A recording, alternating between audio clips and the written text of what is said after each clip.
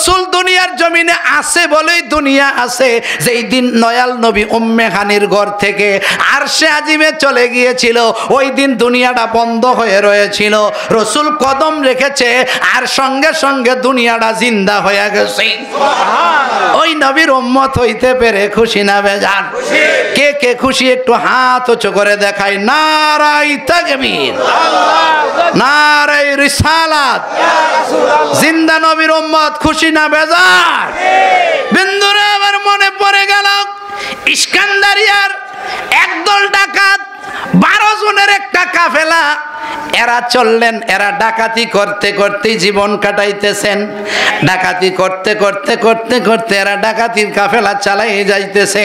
তবে এবার ডাকাতি করতে গিয়া এই ডাকাতের দলের এই কাফেলার নেতা হলো আলাউদ্দিন। দলনেতা আলাউদ্দিনকে এক জায়গায় জঙ্গলে বসাইলেন। কয়, আপনি মুরব্বী মানুষ, আর যাইতে হবে না। আমরা ডাকাতি কইরা আপনাকে এক অংশ, এক বন্ডক দিমু। এগারো জন চলে গেল ডাকাতি করার জন্য। ডাকাতি করলেন তবে একটা ঘটনা হলো এই ডাকাতের দলনেতা আলাউদ্দিন, তারা চলে গেল। ইনি আর বসে থেকে লাভ কি? মনের আনন্দে এদিক সেদিক তাকাইতেছে। একটা নজর পড়ে গেল একটা খেজুর গাছের দিকে। দেখতেছে ওই গাছের মধ্যে পাকা খেজুর রয়েছে। দুইটা পাখি খেজুরটা ঠোঁটে লয়। ঠোঁটে লইয়া একটা মরা খেজুর গাছের মাথা। সেইখানে গাছটার মধ্যে একটা খোরল বা ছিদ্র রয়েছে। ছিদ্রওয়ালা খেজুর গাছটা বরাবর আইসা, মরা খেজুর গাছটা বরাবর ছিদ্র বরাবর খেজুরটা ছেড়ে দেয়। খেজুরটা জমিনেও পড়ে না, আবার ডানে বামেও যায় না, উপরেও যায় না। আমার মদিনাওয়ালা, কামলিওয়ালার সাথে কানেকশনওয়ালা আমার দয়াল নবীর সাথে মোহাব্বতওয়ালা, আলোচনা হবে, জবান খোলে বলো না আমার হাবা এই জন্য আমরা নবীর ভালোবাসা চাই কি চাই না? আরে বন্ধু, কেন চাইবে না? আমার নবী পাকের ভালোবাসা ব্যতীত আমার আল্লাহর দরবারে যাওয়ার কোনো সুযোগ নাই, রাস্তা নাই। আল্লাহ রাব্বুল আলামিন বলেন, আতিউল্লাহ আতিউর রাসূল। আমার, আমি আল্লাহর এত্তেবা যদি করতে হয় আমার নবীর এত্তেবা করতে হবে। আমি আল্লাহর ভালোবাসা যদি পাইতে হয় আমার নবীর ভালোবাসা অর্জন করতে হবে। জোরে সোরে বলো না সুবহানাল্লাহ। ওই নবীর ভালোবাসা চাই কি চাই না এ বন্ধু আমার নবী পাকের ভালোবাসা যারা চেয়েছিল, তন্মধ্যে সৈয়দিনা হজরতে আবু বকর সিদ্দিকের কথা মনে পড়ে যায়। আবু বকর সিদ্দিক আমার নবী পাকের প্রেমে কুফুরি হালাতেও রসুলকে কখনো গাইলমন্দ করে না। কুফুরি হালাতে আমার নবীর ব্যাপারে কোনো রকমের কটুক্তি করে না। কুফুরি হালাতেও আমার নবী পাকের ব্যাপারে মন্তব্য করে না।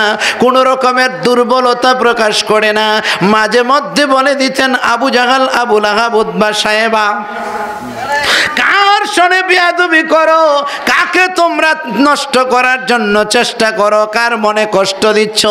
আমার মন কয় এই মানুষটার প্রেমে একদিন তামাম পৃথিবীটা পাগল হয়ে যাবে। জোরে কও না আরে জন্ম আমার নবীর যুগে হলে কেমন হতো?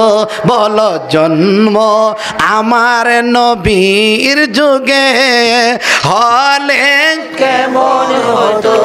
আর দুনয়নে রসুল পাক দেখিলে কেমন হতো?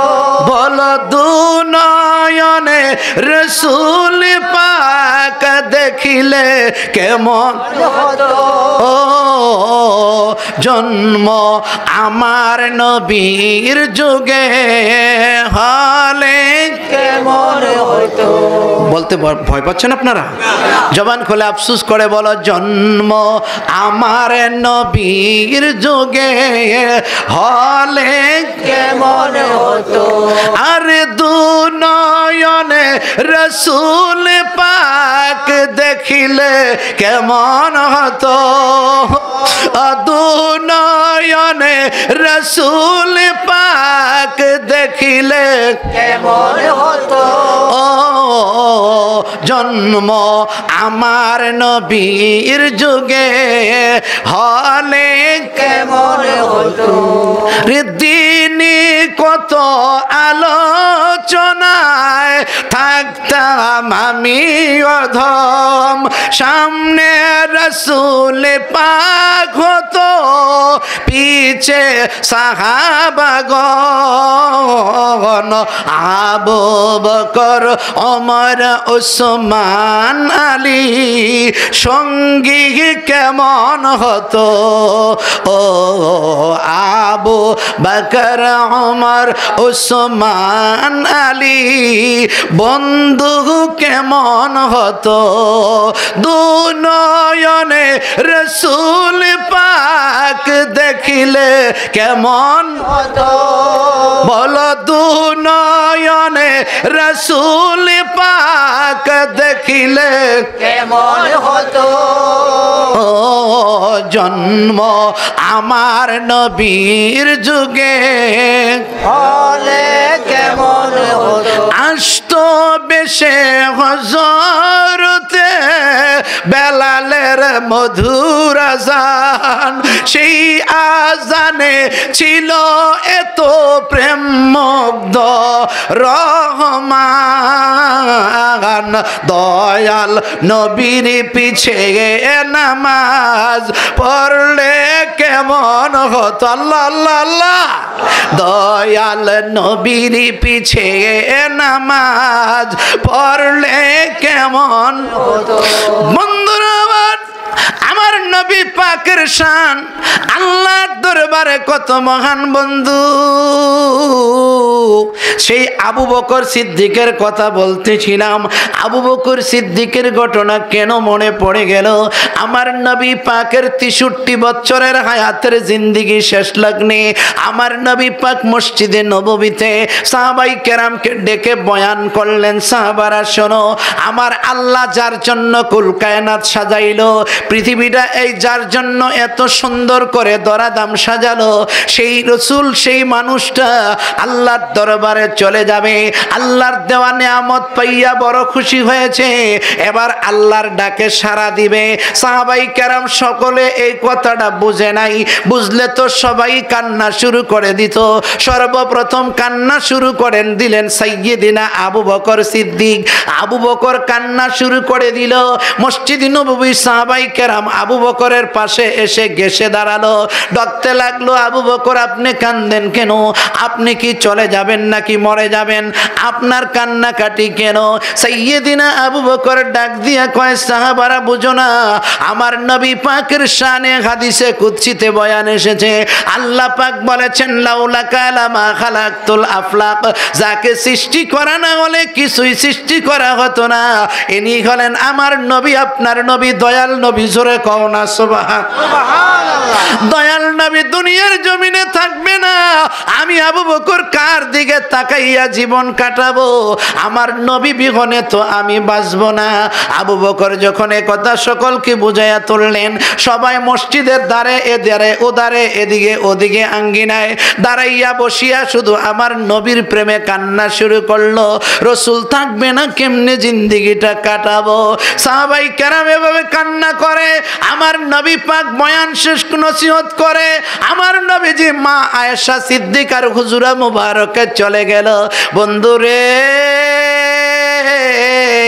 মা আয়েশা সিদ্দিকার খুজরা মোবারকটা মসজিদে নববীটা বেশি দূরে নয়। হয়তো চল্লিশ পাঁচচল্লিশ গজের দূরত্ব হতে পারে। এই মাত্র অল্প দূরে আমার নবী পাক মসজিদে নববীর মেহরাব থেকে আমার দয়াল নবী আয়েশা সিদ্দিকার খুজরা মোবারকে চলে গেলেন। আমার দয়াল নবী যাইয়া সেখানে শুয়ে পড়লেন। আয়েশা সিদ্দিকার উরুর উপরে, রানীর উপরে শুইলেন। আমার নবী কেমলিওয়ালা ডাক দিয়া বলেন, আয়েশা রে, ঘরের দরজা বন্ধ, খুলে খুলে দাও। ঘরের বদ্ধ দরজা দরজাগুলি ভালো করে খুলে দাও। আর মসজিদের দরজাগুলিও ভালো করে খুলে দিতে বলো। আমি যেন এখানে শুয়ে শুয়ে আমার নিজের হাতের বানানো মসজিদটা দেখতে পারি। জোরে কও না সুবহান আমি যেন আমার নিজের হাতের বানানো, আমার এই আদরের মসজিদটা যেন দেখতে পারি। আমার নবী পাক বলার পরে সকলে মসজিদের দরজাগুলি খুলে ধরলেন। ঘরের দরজাও খুলে রাখলেন। আমার নবী পাককে দয়াল নবীজি শুয়ে পড়লেন। আমার দয়াল নবীর এমন জ্বর হইল, আমার নবী পাকের জ্বরের কারণে কম্বল মোবারক আগুনের মতন গরম হয়ে গেল।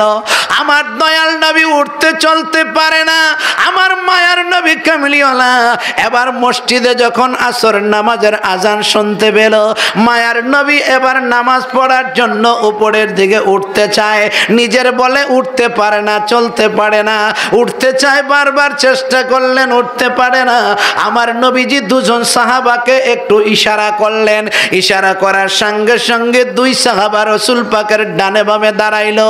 আমার মায়ার নবী দুটা ডানা দুদিকে ঢুকাইয়া দিয়া, দুই সাহাবার কাঁধে ভর করিয়া আমার দয়াল নবী কামলিওয়ালা মসজিদ দেখাইয়া দেয়। জোরে কও না এ বন্ধুরা, মসজিদ কেন ভুলে গেলা এমনও মানুষ আছে, চার দোকানের সময় বেশি কাটায়। মসজিদে গেলে তার জন্য জ্বালাতন হয়ে যায়, জোরে কও না, ঠিক না বে ঠিক মসজিদ তার জন্য সহ্য হয় না। আমার দয়াল নবী মসজিদকে কত বেশি ভালোবেসেছে। আমরা নবীজির, দয়াল নবীজির আদর্শ অনুযায়ী আমরা মসজিদের ভালোবাসা চাই কি চাই না? কে কে চাই একটু হাত উঁচু করে দেখাই। না রে তাকবীর।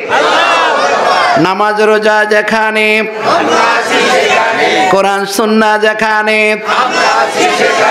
গান বাজনা যেখানে দোতরার গান যেখানে জোরে কন্যা মার হাওয়া রসুল বলেছেন, যারা মসজিদকে ভালোবাসবে, যারা মসজিদের সাথে যার আত্মার আল্লাহ লেগে গেছে, মসজিদের সাথে যার মোহাব্বত হয়ে গেছে, এই মানুষটা কখনো জাহান্নাম দেখবে না, জোরে না, সোহাব। তাইলে আমরা খুশি না, বেজার? মসজিদের ভালোবাসা চাই কি চাই না?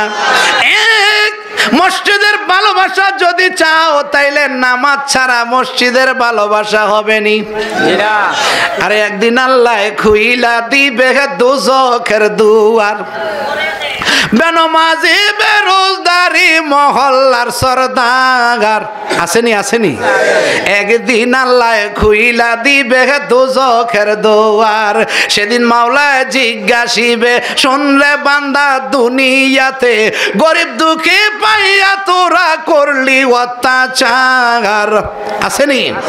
একদিন আল্লাহ খুইলা দিবে দুজখের দোয়ার। মৌতের ওই কঠিন দিনে উপায় নাই রে নামাজ বিনে মৌতের ওই কঠিন দিনে। উপায় নাই রে নামাজ বিনে, সেদিন নিশ্চয়ই পার করিবে নামাজ তোমার। একদিন আল্লাহ খুইলা দিবে দুজখের দোয়ার, হাসরের মাঠ সাজাইবে, নেকি বদি ধরা পড়বে, হাসরের মাঠ সাজাইবে, নেকি বদি ধরা পড়বে। আল্লাহ তালা করবে বিচার সাজিয়া কাহাগার। একদিন আল্লাহ খুইলা দিবে দুজখের দোয়ার। এখনও ভাই সময় আছে তবার দরজা খোলা আছে। আল্লাহ আল্লাহ। এখনও ভাই সময় আছে তবার দরজা খোলা আছে। নামাজ পড়ো, কান্দ বসে, দরবারে মাওলাগার। একদিন আল্লাহ খুইলা দিবে দুজখের অসুবিধা হইতেছে নি?